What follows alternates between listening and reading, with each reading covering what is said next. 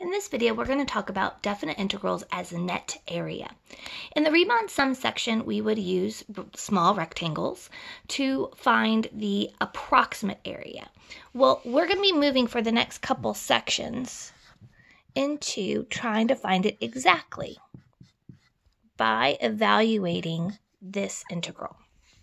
This is called a definite integral.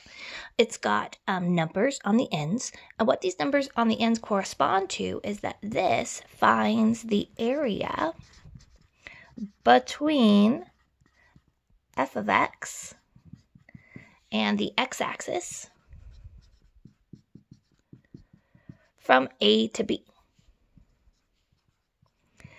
Now, as we also saw when we were doing Riemann sums, if the area is above the x-axis, it's positive. If it's below, it's negative. What this does is this actually finds the net area.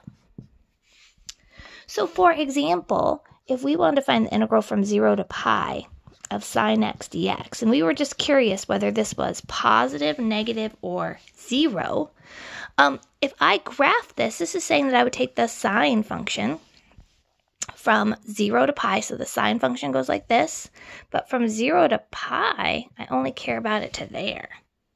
So that area is all above the x-axis. So we'd expect that our answer would be positive, and in fact, that area is all positive.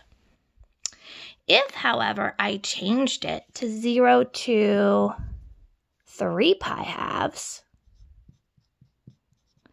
what we would have is we'd have this positive area here, but we'd also have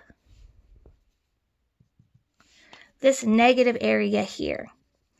So what this would actually do is this would take the positive area plus this negative area and then give us our net answer.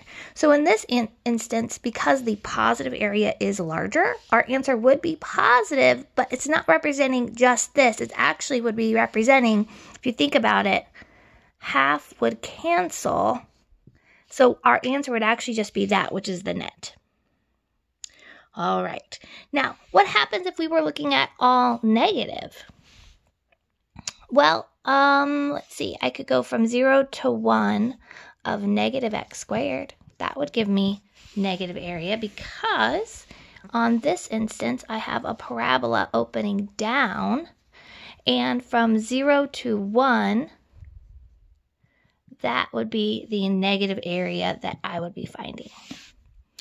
All right, so it's super important as we're first learning about definite integrals that you visualize what area is being trapped and whether you think that area is going to be positive, negative, have a net positive, have a net negative, or if it's actually zero.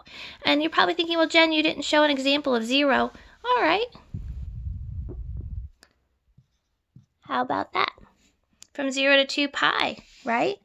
Because if we went from 0 to 2 pi, we are going to get a net of 0. Okay, so best case scenario is while you're learning about definite integrals as area, graph it first. Graph and shade. All right, good luck.